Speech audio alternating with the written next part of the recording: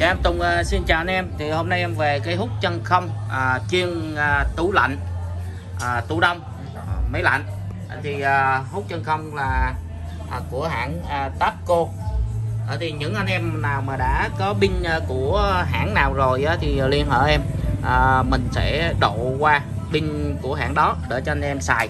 À, thì à, máy này nó mới tầm khoảng à, 97 98 à, phần trăm.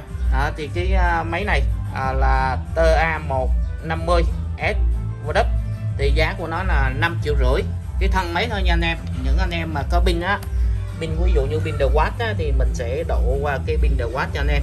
Và nó có đồng hồ luôn. Thì à, mình gắn pin pin vào để mình xài. Đấy.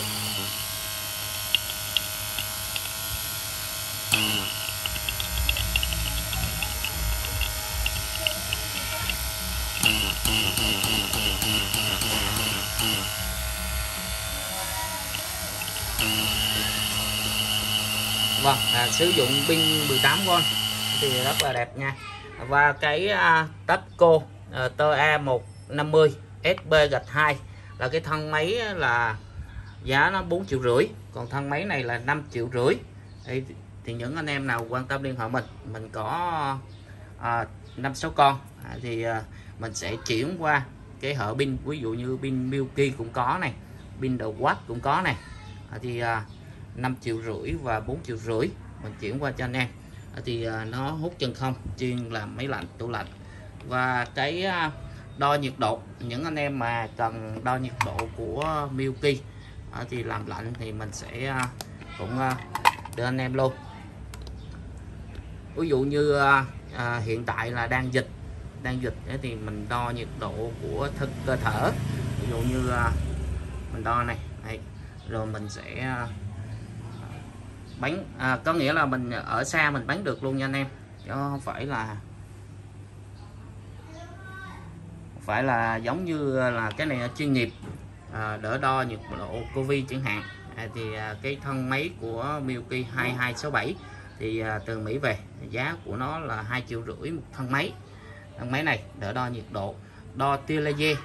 Đây, có tia laser này Đây, tia laser để mình đo à, máy lạnh này đo tủ này máy lạnh đo tủ đo nhiệt độ cơ thể.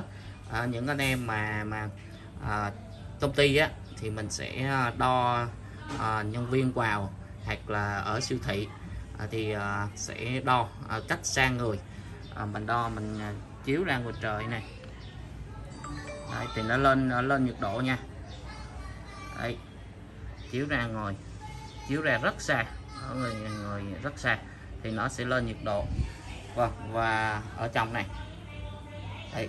và mình đo cái ờ, cái chân mình này. Ba mười ba.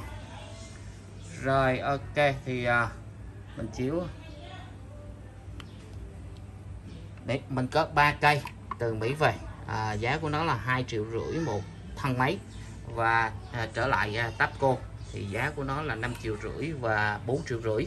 Mình sẽ chuyển qua cái chân pin chân pin này. Những anh em mà có chân pin của Makita thì có sẵn. Thì những anh em mà có pin Milky thì mình sẽ chuyển qua à, pin Milky. Đấy. và à, hàng này là hàng zin à, Nhật về. À, cảm ơn anh em đã quan tâm và theo dõi kênh của em.